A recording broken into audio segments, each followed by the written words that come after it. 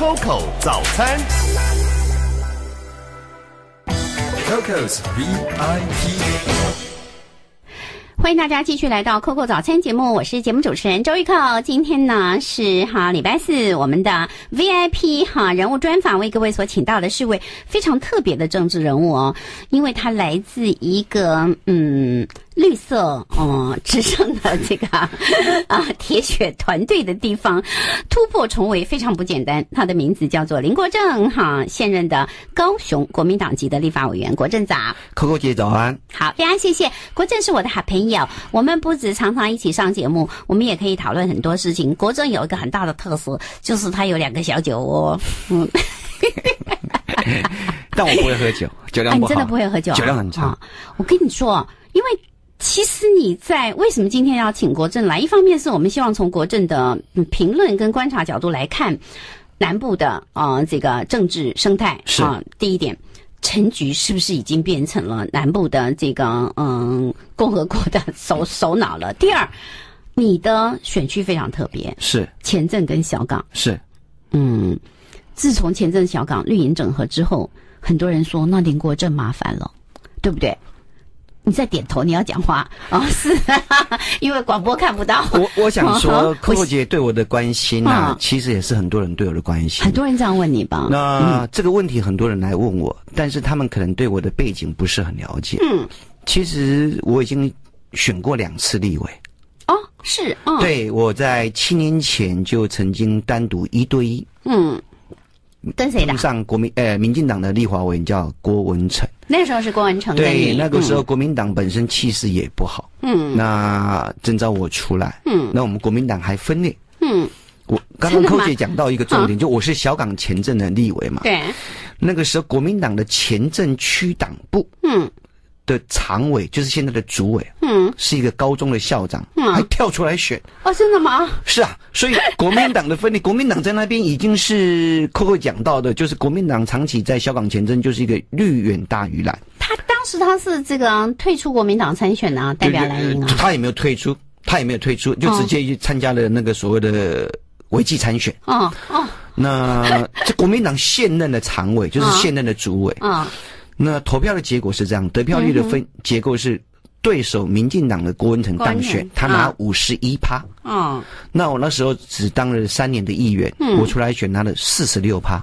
哟，他才拿那个，另外那个人才拿了四趴。对，四趴。哦，那你蛮强的耶。所以，其实我曾经跟民进党做过一对一的对决的选举。嗯，那上一次的选举里面没有错，民进党确实是因为他分裂。那我的票数赢过另外两个陈志忠跟郭文成。为什么？他很多人对你的印象是来自于郭文成跟陈志忠嘛？他们的绿营分裂，所以为什么最近很多人都说：“哎呀，林国正委员麻烦了，这个选举太艰辛了。”那在前镇小港第一是绿的啊，是像我的好朋友，你也是你的好朋友吧？郭正亮，因为他是小港人，他小港人，他父亲还在住在小港，对他一直说那个地方是绿盘大的不得了。这个如果绿营整合，林国正委员就很啊困难啊。这个啊，下一次选举，可是国政私下充满信心。那上次是呃陈志忠、郭文成分裂当选，那这一次陈志忠退选，郭文成也没参选，是那绿营整合成功，是很多人几乎就用这个呃传统的观念认为，糟了糟了，你一定很难选上。寇哥姐，我刚刚也点到这个问题嘛，就说现在陈志忠的支持者跟郭文珍、郭文成的支持者。一定跑到赖瑞龙那边去吗？哦，哦，你那么有信心啊！所以，因为我在三年前的立委选举，我们做过一个民调啊，我委托偏绿的山水民调，连续做了三次的民调，在选前一个月，嗯，那做了一个民调，里面其中有很多的细项，其中一个细项说，你郭文成如果不选，嗯，你第二个支持的对手是谁？嗯。我在郭文成的支持者里面有将近四成的支持者是挺我，第二我优先人选。嗯，同样如果陈志忠不选，嗯，你会转向支持谁？嗯哼，我竟然有三成半左右。嗯哼，所以不代表说今天他们两个都不选了，这些票都会集结到哪里？嗯，就是绿营的某一个候选人的身上。嗯哼，我我觉得这种状况里面，可能大家对过去整个小港前阵里面他们熟悉的不不不一样。就我连续选了两次立委，这次是第三次，是。有一个很吊诡的现象，我也做了一个很深入的分析。嗯，就马英九在两千零八年跟两千二零一二年的总统大选，在我们小港前阵的出那个民调里面，嗯，我每次做立委民调，同时会做总统大选的民调，嗯，每次挺马英九的支持者。大概有将近十五趴到二十趴是挺郭文成，哦，是啊，那我让我很吓一跳，为什么？因为马英九的形象从学历啦、问政各以以过去二零一二年跟二零零八年那时候的马英九，嗯，他的支持者里面的中间选民或是偏蓝蓝军的选民里面，应该会投一个比较高学历的人，嗯，但竟然有十五趴，嗯，到二十八是挺郭文成，民进党郭文成，嗯，这是。每一次做都是这样。嗯，后来让我感觉到一个东西，我深入分析里面，就是说，南部的选举跟北部北台湾的选举不一样。南部的选举是重人情味，哦，重什么东西？重基层啊，重保暖啊。所以郭文成前立委他在高雄夫妻两个生根很久，生根了快三十年。嗯，所以很多蓝军的支持者。他是受过他们的服务，那受过他们本身家里的婚丧喜庆啊，很多的庙会活动，他们都是有出席，共同去共襄盛举。嗯，所以每一次做出来的支持率里面，就将近有十五趴到二十趴。哦所以来看一个选区的选举里面，像我们这种立委选举里面，第一个你不能拿县市首长的选举来来对比。嗯，那大环境是个因素。嗯，但是候选人是不是生根？这很重要，我觉得这是很重要。所以这次你在谈这个呃明年的这个立委的选举当中，你比较有信心的地方，是因为赖哎赖瑞荣跟陈信瑜对你来讲，这个对手从这个角度来看，搞不好这个台北呃高雄市议员出身的陈信瑜对你来讲威胁力还比赖瑞荣大啊。如果从我的幕僚告诉我了，他们的直觉啦，呃这个问题就是很多人也会问我说谁比较好，谁比较好面对啊？议员是真的难打。因为他基层服务更细。因为陈信议员跟我一样，都是从十一年前从市议员就一直当到现在。对。所以小港前镇将近一百个里呀，每个里都有我们的足迹，每一个里的钉钉塔塔的人脉，我们都有共同的朋友。啊。他看到了每一个里长，或是过去三届五届的里长，他可以直接叫他名字，拍拍他的肩膀。嗯。可以做一个很好的一个好朋友的一个互动的动作。嗯。跟你一个。可能对地方不是那么熟悉的一个新人呐，嗯，那我我是觉得说，民意代表出来的，他在地方还是有他生根。第二个，啊，陈信纵使在初选过关，嗯，民进党的陈局市长也会挺他啊。啊，所以会整合的比较这个绿营整合的更为坚固。民进党市长 不可能不去支持，不支持他自己党提名初选过关的候选人嘛。嗯，所以是不管是赖瑞龙出现，陈信颖出现，或是当时候的陈志忠参与党内初选出现，我想陈局基于整的是政党政治，嗯，没有理由。不去全力挺他自己民进党的初选候选人，所以赖瑞荣出现对你是稍微有一点点的这个松一口气，但是也不是松一口气。赖荣本身给我的一个压力是他这个他是我台大国华所的学弟，哦是，我跟他很熟，嗯，我在高雄市议会当七年的市议员就跟他认识，嗯，他算是一个蛮不错的一个从机要人员出身，嗯，他其实以前只是一个机要，小机要。啊，他是在陈局市长当选市长以后，把他安排在金花局当专门委员。嗯嗯。那后来我离开议员当立委以后，他就出任新闻局的局长。嗯。那后来担任所谓的海洋局的局长。局长。嗯。那这个人本身算是一个比较。谈政策理念的，因为他是我台大国华所的学弟。那我们在议会或是我当了立委，他在当新闻局跟海洋局的局长，我跟他都有互动。嗯，算是一个蛮正面表列的一个一个候选人。嗯，他的出现对我而言来讲呢，我要更用功，因为他是一个可以深入探讨政策取向的一个候选人。但是，呢，选这个立法委员不是以基层生根啊？这个东西是他比较他比较。不利的地方，但相对的，因为他当过政务官啊，他相对里面对高雄市政府的事务团队，所以他可能跟事务里面的行政资源的动员，在法令允许以内的行政资源的动员，这个东西里面可能会比较有优势。好，这个国政充满信心，因为嗯，林国政委员在高雄前镇小港区打的是艰苦战争中的艰苦战，因为明年的选举，不管是总统或是立法委员选举，国民党必然是一个艰苦战，对不对？没错，大环境就已经不好。有南台湾的南台湾，南台湾的最深绿的，人家还以为你会绕跑嘞，要我都吓死了。这个 枪林弹雨的情况之下，国政面对嗯这个前镇小港的整合，陈志忠的退选，然后现在。问题是，他叫赖瑞荣，但是人家都说他是花妈人嘛。花妈现在是全台湾第一名呢，他的民调还超过柯文哲耶，你怎么打呀？我们等一下进一段广告，好吧？来看看国民党在高雄现在就两席立委嘛？是我跟你跟啊黄昭顺委员，你们现在要初选吗？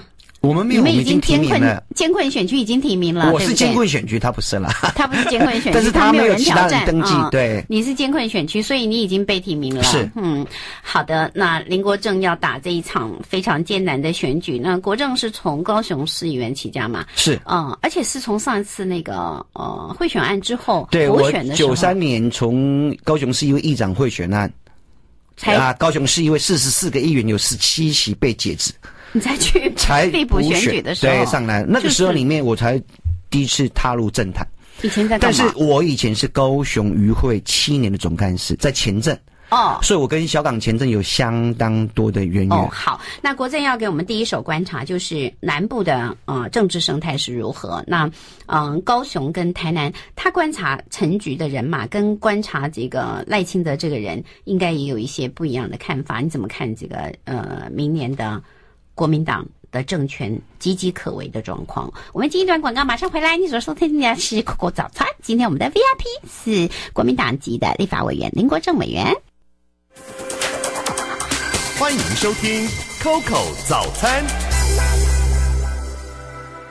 欢迎大家继续来到 Coco 早餐堂节目。每个礼拜四，我们呢这个希望能够做 VIP 的专访啊，这个嗯谈这个当前的重要的议题啊，也对嗯这些我们所访问的对象他的特殊的角色给大家介绍一下。像今天我们所邀请的林国政委员，他是国民党的监困选区当中的监困选区哈，是高雄啊前镇小港所提名的立法委员啊，明年一月十六号的候选人，他是现任的立委。为什么赖瑞荣这么厉害？短短的十几天当中，陈志忠一退选，他就在花妈的加持之下，就可以在初选里面就脱颖而出，就打败了一个耕耘的非常的这个呃深厚，然后还是谢长廷人马的陈信瑜，所以每个人都觉得赖瑞荣太厉害了。国政你要怎么怎么去对打呀？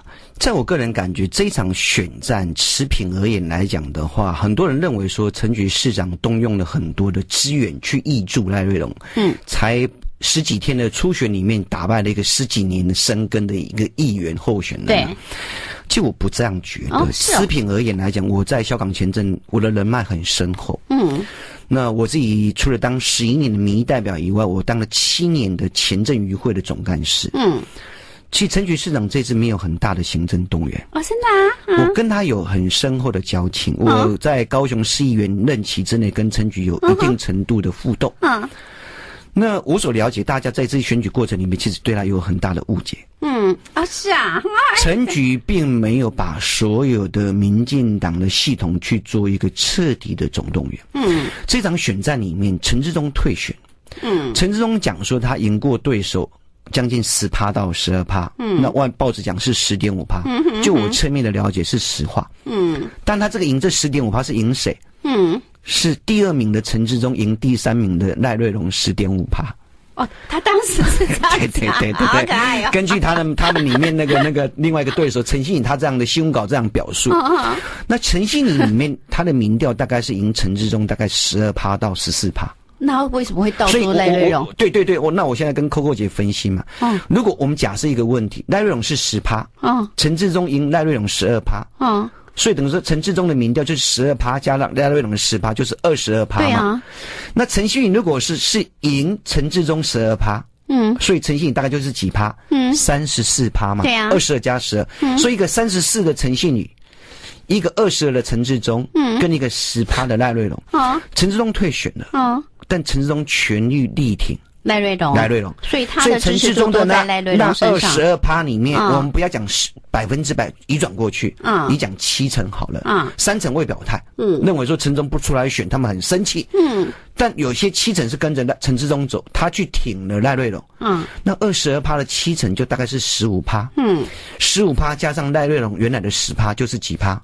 二十五趴，那二十五趴的赖瑞龙就对上陈信宇的三十四趴，那还输九趴呀？啊，对，那九趴里面对我们政治人物你们很清楚，九趴大概顺就是一来一回就是五趴。嗯，信宇议员犯了一个很严重的错误，哦，他的助理去花妈的市长是贵。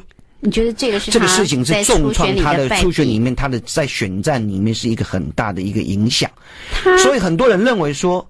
心理议员第一份的工作，我们初初步的了解是陈局担任社会局局长啊，他的机要，他的机要，对对对。那信女议员或许不了解，他的助理要去花妈的市长门口跪，跪但是这一跪，跪是发展到最后了，因为这个助理前面有批评过花妈。对，这几天其实在这个一跪之前，赖瑞荣的民调都远远落后 那个陈信女。嗯，这一跪下去，在高雄引起哗然，认为说这个跪。对陈局市长里面，你你可以对花妈的初选过程里面有所不满，你可以开记者会，或是讲你要道歉的方式也有很多，但你跑到人家官署的市长室门口这样跪，妥不妥适？你刚好让媒体本来大家不认识赖瑞荣是 A 是 B 是 C，媒体一个钟头嘎起到。你无形之中就帮赖瑞赖瑞龙去打了什么东西？打了知名度嘛？而且赖瑞荣又跟花妈画上了密切的等号，那花妈的支持度就会过来，就就会挹注嘛。再来跪了两天以后，嗯，那戏女的算是他们谢系的派主，那谢长廷前市长又讲说，说机关枪对付小猫，这个东西俨然就变成说派系的对决。那结果派系的对决里面现在。菊姐在高雄市的民进党派系是一派独大啊，是如日中天啊。那在这种情况之下，本来大家认为说，哎，还挺中间偏绿的，或是怎么样，中间选民还是挺挺挺信你一员的。突然之间，在这两个事件的一个发酵之下，几乎不是因为挺赖瑞龙，而是无法去接受第一个拍戏的对决，而无法去接受这个一跪，那就把那个什么民调去转向去支持赖瑞龙。所以在这个情况之下，他才脱颖而出。但是这里面有一个问题，我跟柯姐报告，嗯，赖瑞龙纵使赢了，但是陈信宇还有将近二十八趴的支持率。对，赖瑞龙只赢他将近四趴多，嗯，代表陈信宇这十一年来在高雄是相当相当的生根。嗯哼嗯，所以你准备把那二十八趴抢来？啊，我想说有很多会支持我。我跟你讲啊，这个刚才国政讲这个过程里面，我发现。未来的选举在高雄，我觉得你的战术是绝对不会去批判或是对冲陈局，对不对？我我跟 Coco 姐报告，在气爆事件时候，很多人直接把焦点放在陈局市长。嗯，但我从来说他在睡觉。嗯，你你没有看过我讲过一句这个东西？我想，当为一个市长，没有一个人愿意在他自己的当市长的任内发生这种事情。嗯，你可以说他的团队，或许说在。横向的联系不足。嗯，其实第一个让他四个首长下台的是我。啊，是因为我把资料公布出来。对对对，你把地下一点东西拿出来。但你看，我只针对市。嗯，从来没有去针对市长，因为我跟他在议会有交手过。我认为陈局市长在高雄算是一个很认真去经营这个团队。我曾经有机会跟他单独，我跟他在议会共事将近四年。嗯，我跟他只见过单独见面两次。嗯，因为我认为我是国民党市长，我不会去找他。一次是什么？为了反毒啊，为了毒品反毒。一个新加坡的一个反毒大使然后到台湾，透过三大基教会，透过我，我带他们去见市长。嗯，第二个是陈局上次中风完以后。想跟我见面聊聊，嗯，他跟我谈到很多他对政治的看法，嗯，所以我一直觉得说，没有一个市长希望在他人内发生像气爆这么重大伤亡的事情，嗯嗯，这是可能是一个天意，或是一个疏忽，或是一个监督不周、横向联系不足。但是我我觉得我在过程里面完全是就事论事，嗯哼，我觉得南部人不喜欢去尖酸刻薄的言辞，嗯。柯姐，你看到这次的赖瑞龙的初选里面，到最后两天，陈菊没有站出来，他的脸书破出一张什么？他颇受委屈啊！什么叫机关枪对着小猫？听说陈菊到了阿里山去，嗯，到山上去，觉得说自己也蛮委屈的。嗯，那其实这个过程里面，我们知道内幕的人认为说，持平而言，他是受到委屈。所以陈局不是嗯故意把赖瑞荣抓出来去打陈信宇，不是亲，不是我侧面的了解，他不是第一优先人选。哦，赖瑞荣不是不是陈其迈呀。外传呐，外传呐，我也证实了，好像还有第二个人选，哈哈，郭正亮，那那那个只是另外一个派系，郭正亮是另外一个派系想要推出的人哈。高雄市政府跟现在的高雄市党部总共还有另外一个人啊，陈其迈之外还有，对对，找了三四五个人。据说是因为这是劝退陈志忠的方式，对不对？因为只有陈志忠劝退，他们才能整合。然后，嗯，这个，嗯，要劝退陈志忠，那有一种说法是陈水扁他们呢可能接纳的人选比较重要。也不是，不是这么复杂。其实这次来讲，陈志忠不是被劝退啊，他自己发觉不对劲了。我在高雄基层所获得的讯息里面，大家认为是陈局去劝退他。但我得到的讯息好像是陈志忠在过年前，听说就去找了市府里面的高层，嗯，表达他可能要退选的意愿。他不想选，他爸爸一直叫他。他他这个东西在我们高雄基层已经好几次就讲说，明天要开记者会，陈志忠要退选了。对，还有媒体都传简讯给我，但是什么我都笑笑，因为什么？不管是谁，陈志忠不选，还有其他民进党候选会出来选，嗯，我不能改变对手，嗯，我不能改变什么大环境，嗯，我能改变就我自己，嗯，所以我从四年前。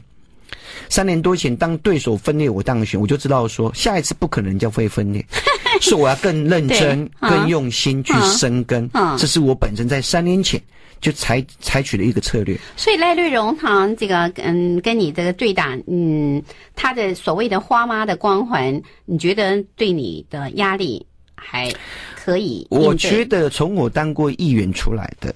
我我认为本身来讲的话，纵使是行政系统的动员，嗯，那人脉就是那些嘛，嗯，我举一个例子，赖瑞永当过海洋局的局长，嗯，他在初选的时候有很多小港渔会跟高雄渔会的头头，嗯，站出来挺他，嗯，你知道挺他之前就打个电话给我。国政不好意思，对对对对对。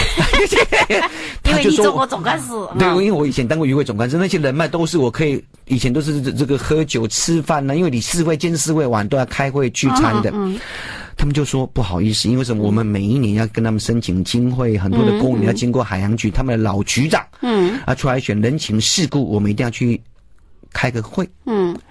甚至我跟 Coco 姐你报告，嗯，有一些绿军是支持我的，陈举的辅选团队，他选市长的重要干部，嗯，在小港前镇，在立委选举会很力挺我，嗯，他就跟我说啊，怎么办呢？嗯，赖瑞龙的朋友来拜托他们挺他出选了，嗯，问我的态度，嗯，我说没关系啊，也不要让市长太难看，因为那个时候赖瑞龙民调真的是很不好，对。我说你们就初选，看你们支持谁，我不影响你，因为这毕竟是民进党党内初选，你们本来就是绿军的嘛。嗯。但是拜托你们就大选挺我，他说没有问题。初选他们来决定挺谁，大选一定归队。嗯，所以你嗯认为这个东西里面就是什么东西？在任何一场记者会之前，其实他们都打电话给我。哦。记者会结束也都会告诉我。啊，怪不得甚至海洋局内，到连海洋局内部开会的讯息。都有官员来告诉我。那你今天泄露机密了，那没有关系，就知道但是什么那个人脉为什么？因为什么？我当个七年多的渔会总干事啊。啊。说从上到下里面，包括高雄的远洋渔业、尾鱼、鱿鱼、鱼轮、蟹鱼工会，最基层的蟹鱼工人，我七年多在那边生根。嗯。我怎么会跟他们不熟嘞？好，这个国珍充满信心。我们在访谈当中可以看出来，我觉得真的不简单。因为我碰到的高雄的很多的这个绿营的也好，蓝营的政治人物，他们都嗯会为你觉得很艰困的。好，我们从国政的在地的经营来看，这个前镇小港这个选区的特殊性。那嗯，可是呢，高雄到底它的政治生态是怎么一回事？陈局市长他居然做到现在就有点。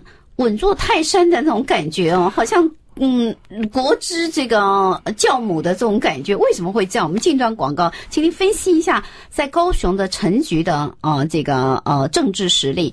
请你继续锁定 Coco 早餐，我是节目主持人周玉蔻。我们请到的是国民党在高雄前镇小港所选出的立法委员林国正林委员。Coco 早餐。国民党籍的立法委员哈，高雄前镇小港选出的林国正委员，他住在高雄，每天呢坐高铁到台北 哈来开会，来做立法委员。是你还要这个上一些呃政论谈话节目，做一些政策性的这种沟通，嗯，辩论。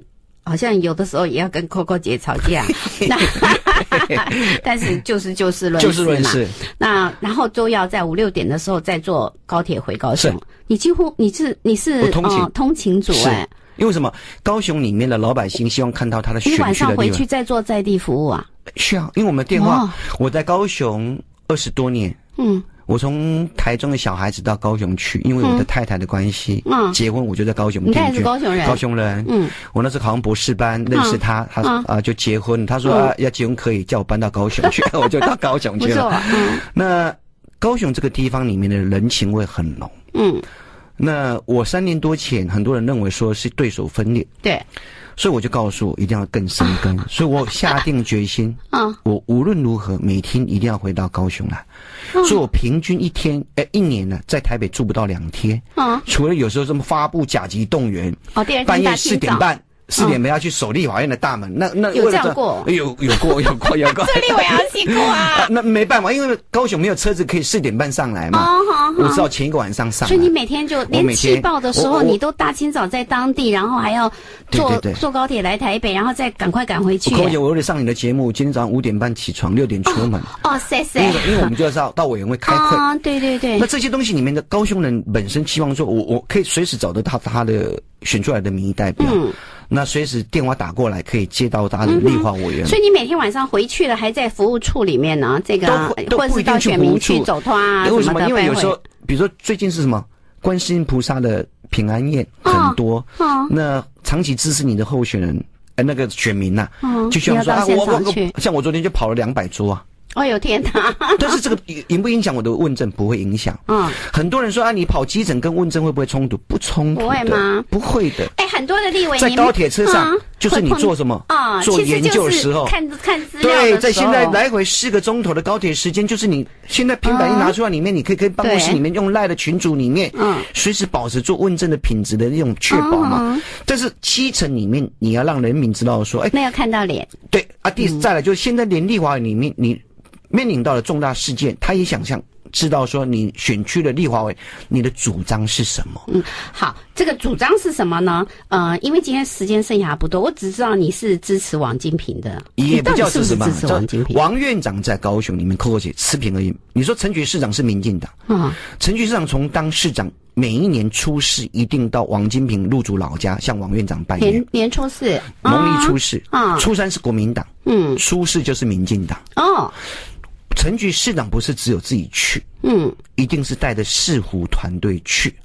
我在跟大家报告，王院长是高雄本身现在在政坛里面位居要津的首屈一指的一个所谓的国家行政大佬。过去在民进党时代，在现在国民党时代里面，蓝绿在高雄的政治后辈对王院长都是相当敬重。嗯，因为王院长只要涉及到高雄的事情，他是不分党派。一定全力支持，所以高雄这十几一二十年来，在民进党执政的市长里面，嗯，很多的重大市政的机会争取，都是通过王院长去争取，哦、里面没错，都是通过他去争取。那王金平到底要不要选总统啊？这个我这个很多人这样问你，我也不清楚。你没有问过啊？我没有问过他。所以，那你未来怎么？哦，你作为一个立法委员，我请问你，你现在做立法委员的哦候选人，你们的总统的参选人的母鸡效应是不是真的很高？我觉得这是一个因素啦，那，但是它不是绝对的因素啦。啊，我想大环境不利对我们是一个伤害。嗯，那总统候选人强不强也是一个重要指标。嗯，但这个东西我们立委候选人不能去操控。所以你，我能够做的就是我要认真去经营每一天这样而已。林国正很充满信心的说，他要自己做一个坚强的。健康的小鸡，他意思是这样啊。最后只剩不到一分钟，国政他充满信心，在前镇小港打选战也有他的理由哈。我们也祝福你，谢谢罗杰。这个选举一定是一个正面的选举。现在蓝营的氛围士气这么低迷的，林国正充满自信，已经很不简单了，对不对？我一向生活就是这样啊。好，谢谢你，谢谢国正，谢谢观听众听众朋友。今天我们为各位所介绍的 VIP 是前阵小港国民党所提名的下一届的立法委员的候选人，他这个寻求哈连任啊，林国正委员哈。嗯，明天早上各位早餐好，我们要为您介绍好的。书籍哦，请您继续锁定哈，Hit FM 联播网，礼拜一到礼拜五早上七点到以上言论不代表本台立场。